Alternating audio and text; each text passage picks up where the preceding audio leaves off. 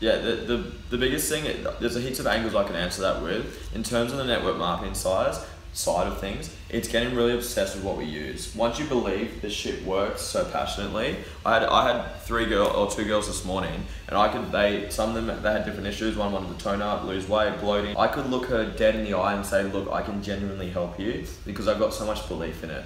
Because if you're trying to help someone with a service or a product or whatever you're doing, and you don't genuinely believe in it, you're just trying to sell it to get a bit of cash off them, people can like sense that. Have you had someone try to sell you shit before? It's just like go away, like leave me alone. I don't want to buy mm-hmm. your shit. So like, but what now that I believe so heavily in it, like I've got an incredible before and after. So does Nicole. So does Jess. We abuse her before and after on Facebook. But because I've got so much confidence in what I do with the product, it's made my conversion of leads to clients so easy. And then it, it it's just my confidence that's comes across to people. Percocets, Molly Percocets, Percocets, Molly.